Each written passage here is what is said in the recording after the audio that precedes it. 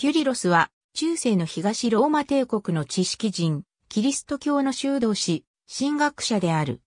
教会スラブ語、ブルガリア語、ロシア語などから、キリル、キリール、チェコ語からは、チリルなどとも表記される。聖教会、カトリック教会、聖公会、ルーテル教会で成人。元の名は、コンスタンティノス。同時代文献にはしばしば、哲学者、コンスタンティノスとして言及される。グラゴル文字の考案者として知られる。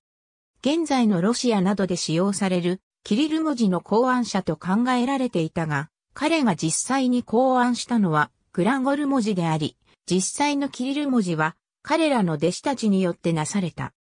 キュリロス兄弟の死後、モラビアから去ったオフリドのクリメントら彼の弟子たちは、ブルガリア帝国のボリス一世に迎えられ、宣教を行う傍ら、グラゴル文字を改良して900年前後により、ギリシア文字に近い形の新しい文字を開発した。しかし彼らは、キュリロスを忍び、新しい文字を、キュリロスの文字と呼んだ。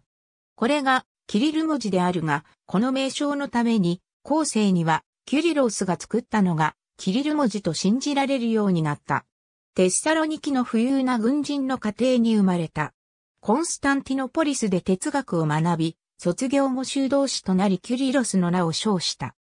コンスタンティノポリスの大学で教え、ギリシア語だけでなく、ラテン語やヘブライ語に熟知した文献学者、またユダヤ教やイスラム教を理解し、反爆書を表す哲学者として巧妙になった。9世紀後半、モラビア王国が東ローマ帝国にキリスト教宣教師を要請すると、布教のためモラビアへ兄メトディオスと共に派遣された。二人は、ロスティラフ王をはじめとするモラビア王家に洗礼を授け、キリスト教に改宗させた。また、新たに考案したグラゴル文字を用いて、古代教会スラブ語への聖書の翻訳を行うなど、スラブ世界におけるキリスト教伝道に努めた。そのため、キュリロスとメトディオスの兄弟は、共にスラブの使徒と称され、スラブ圏のキリスト教会では厚く崇敬される。867年、兄弟はローマ教皇ニコラウス一世からローマに招かれた。当時、モラビアの管轄権をめぐり、また、方針令における言語、つまりは彼らが翻訳したスラブ語聖書を使用する妥当性をめぐり、ザルツブルク司教ティトマールが論争を起こしており、これを解決する必要が生じていた。二人は聖クレメンスの聖遺物を携え、弟子たちを伴ってローマへ赴いた。868年、ローマに着いた二人は温かく迎えられた。二人の学識とコンスタンティノポリスで身につけた温雅な文化人としての態度をローマの人々は称賛した。アドリアヌス2世は二人を支持し、モラビア伝道の許可を確認するとともに、議論の焦点であったスラブ語による方針令に公式の許可を与えた。しかしキュリロスは、この年の終わり、病にかかり、ある修道院に静養のため入り、その50日後、869年2月14日、没した。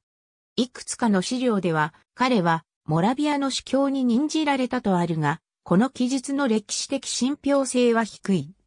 彼の死後、モラビア伝道とスラブ語方針令の整備は、ニーメトディオスと弟子たちに引き継がれた。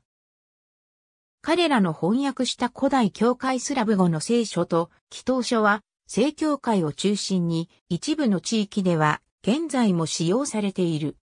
ただし、彼らのモラビア布教は最終的に東フランク王国の圧力で失敗に終わり、モラビアはラテン典礼を受容し、後にカトリック圏に入っていくこととなった。上記の通り、聖教かカトリックかを問わず、スラブ語圏で厚く崇敬される。スロバキア共和国憲法では、その全文に、キリルとメトディの伝えた精神を忘れることなくと歌っている。